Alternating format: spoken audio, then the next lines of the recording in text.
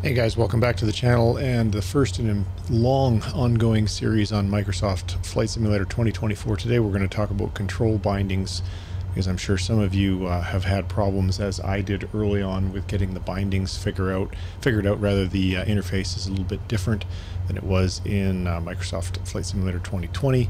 So what I recommend you first of all do is place the plane on any runway uh, as I have done here. And then once you've done that, go ahead and hit the escape key on your keyboard so that you can access the settings gear icon. Click that gear icon. Then we're going to go over into controls.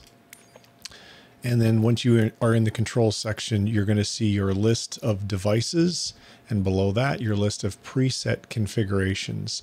Now I want to talk about the preset configurations first because this is an area that can cause you no end of problems. When you don't have a preset configuration, you're going to see the word none. And you'll notice here that there are general controls. These are non-aircraft specific. These are airplane controls like flight surface, flight surfaces and flaps and all sorts of things. And then there are the specific 172 Hawk controls, which to be honest with you, myself and I think a great deal of others haven't managed to figure that out yet, exactly what those are for. So we're not going to sweat that today. But before you go and make all of your bindings, um, know a couple of things. Number one, if you're using something like a HOTAS Warthog throttle, it comes with, if you choose bindings that are assigned, it comes with a lot of preset bindings. So if you don't want to start from scratch when you've got a product like this, you don't have to. Now, if you wanted to make your own version of this, or you wanted to make modifications, I would suggest that you first off start by making a copy. So we'll go choose duplicate and we're going to give that copy a name. We'll just call it demo, something intuitive.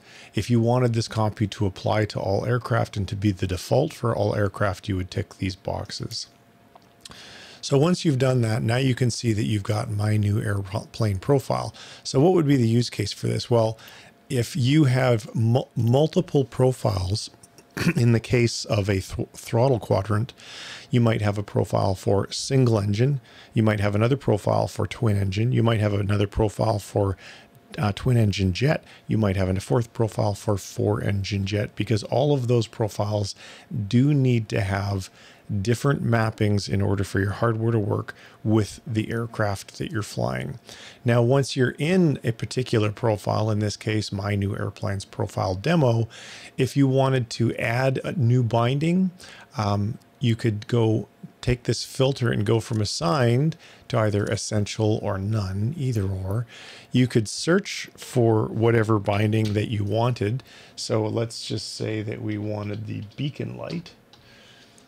Beacon lights on, and then you would click it, and then you would flick whatever button it was that you wanted assigned to that particular uh, control. Now, if you decided, you know, hey, I don't want that any longer, click on the gear icon and you can click on the little trash can right here and that will go ahead and get rid of that assignment that you just made. Now you can see that it is cleared out. So same applies for general controls. You'll notice here that if I was to, I'm starting off with none and rather than go and uh, make modifications to this none profile, I would strongly recommend, and this applies for all controls, not just for the throttle uh, that I'm dealing with right now, start off first by making a new profile. So in this case, we would call that something like Trent's general controls. And in this case, I'm going to put the word demo. And then I would want this to apply most likely to all aircraft, and most likely it would be my default. Um, and then I would click OK. And so now, once I've got my profile ready to go, now you can look at assigned. There is nothing assigned here. Oh, actually, if we get rid of the word beacon, So there's nothing assigned. So how do you go about assigning things? Well, you can type in whatever you want to do. So if you were looking to say assign trim, what am I doing wrong here? Oh, sorry, unassigned. That's what I meant to do. So if you have unassigned and then you type in trim, anything with the word trim in it is going to show up in this list. And then you would pick whatever you wanted, and then you would map it to the control that you wanted it. The other thing that you could do is you can do search by input. So now press something on your control. In this case, I don't have anything mapped. Oh, that's because this, there we go. Joyce, so I moved the throttle control on the, the uh, Warthog controller. When I moved it forward, it told me that that was assigned to joystick lateral access Zulu. So if you want to figure out what is already assigned to a given button, that's how you do it. You click this, then you click the button or turn the knob or move the control, and it will show you what it is mapped to. Now in my case, I don't want this demo control here, so I'm going to go ahead and I'm going to delete it. Now before I do that, I do want to make sure that you're aware of that if you have created a profile, and you want it assigned to all aircraft, you can also do that here. And you can also set it as default here. And if you want to declare out all of the bindings that are in a specific profile, then you would be able to click that clear button there. In this case, we're going to delete because I don't want that demo one. And then I want to go back up to, now I've got a Moza force feedback stick as my uh, yoke or as one of my yokes. It's the only one that's plugged in at the moment. Now you can see here it's blank. That's a quirk with Moza. They in their coding didn't bother to give their device a particular label, nor did they bother to give it a picture, which is why unlike say the uh, Warthog, where you see the photo of the actual piece of hardware, when you click on this, you kind of get nothing. So that's a little bit quirky on their behalf. And then you can see here that I have created Trent's General and I have Trent's single engine. So if I wanted to see what has been assigned, you can see in this case that I assigned trim left and right, nose up, nose down, flaps, ailerons, elevator access, set parking brake, ATC. I have like to have some buttons that I push with my thumb to bring up the ATC panel. Now, in this case, I don't have yet the display ATC. So I want to map that. So let's just type in ATC and we want to go down, we want to go back down over here and choose unassigned.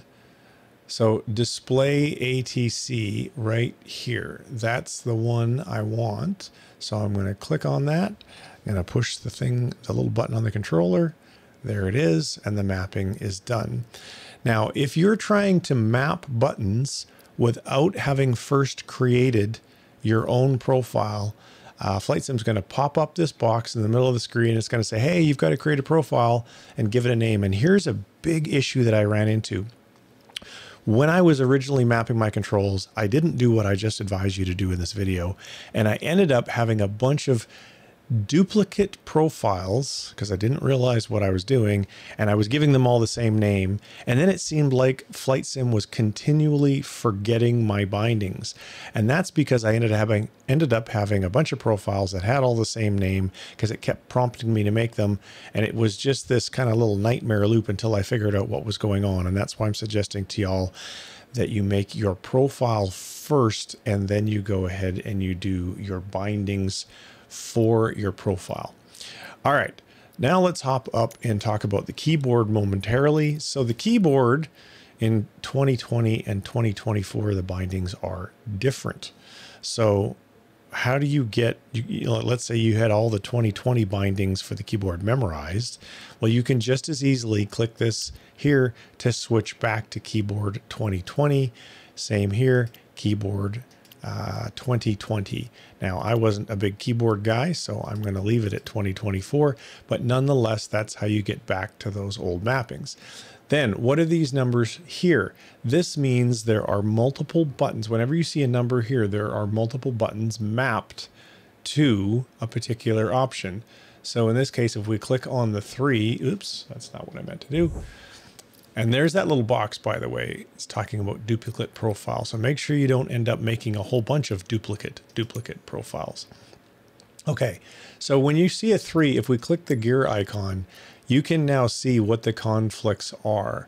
We have multiple different things assigned to that particular button push. So if you want to get rid of those, you just click on this here and that takes you to it. So we'll, let's say we're going to get rid of that one. Um, and actually I don't want to make a new profile. So I'm not going to worry about deleting these because I don't want to create a whole bunch of new profiles. But nonetheless, that's how you do that. Um, so now the next thing that I want to talk about is your actual hardware settings. So if you go into and you want to adjust the sensitivity of an access, uh, of an axis rather, go into hardware settings and you can do that. You can see you've got your axes here and then you can drag your sensitivity sliders up and down here. And again, if you don't have a profile for this, it's going to ask you to create a profile. Now in this case, because we're on none, so if we go to, well, we don't have a general profile for the Warthog, but if we go back to, you see, you can see some of my profiles that are there. That one, I don't want that one anymore, so we're going to get rid of that. There we go. So we've got our Warthog now. Do we have any extras that we don't want? See, there's another duplicate one. So we want to get rid of that. This was when I was messing around before and we don't want that. So let's get rid of that. Okay, so there's just the one profile. Now, if I wanted to make a custom version, like I said, and I wanted to change my axis settings, I would first of all recommend that you duplicate this, and we'll just call this axis. We'll click OK.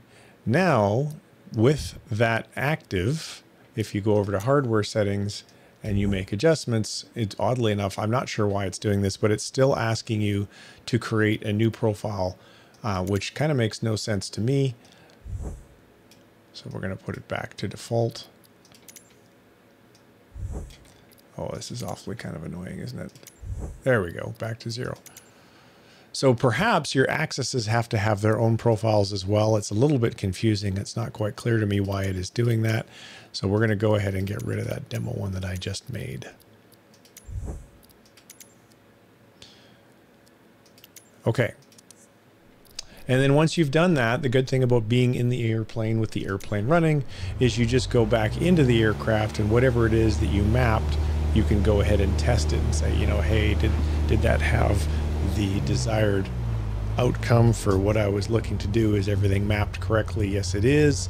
And of course, if it isn't, then you would go back and click the gear icon so that you could make the adjustments that are needed.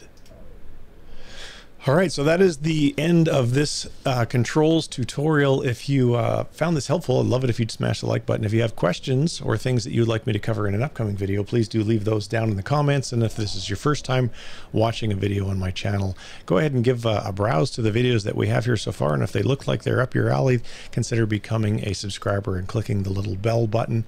And finally, if you'd like to get email notifications when I produce new long form videos like this, just go to flywithtrent.com and you can become an email subscriber. Thanks very much for watching, everybody. See you soon. Take care. Bye bye.